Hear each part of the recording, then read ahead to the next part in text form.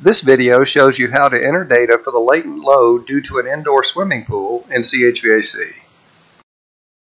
CHVAC can calculate the latent load from an indoor swimming pool. Even though the current room is an office, let's take a look at this feature. This window uses formulas from a publication from ACCA called Manual SPS, which deals with mechanical system performance related to swimming pools and spas. Enter 100 square feet for the water surface area.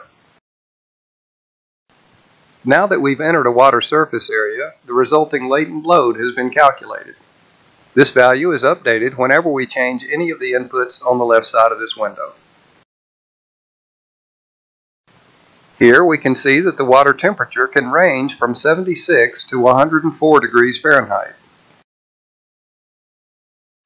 The activity factor lets you adjust for various levels of water churning, since more activity increases the evaporation and the latent load. The higher the air velocity, the more evaporation there is, and the higher the latent load is.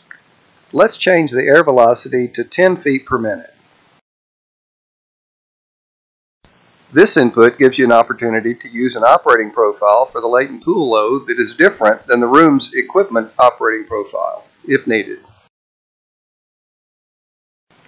Let's take a look at the default evaporation flux values that are used in determining the latent load. This window lets us edit each cell in this table if we want to use different values than these that come from table A5-4 in Manual SPS.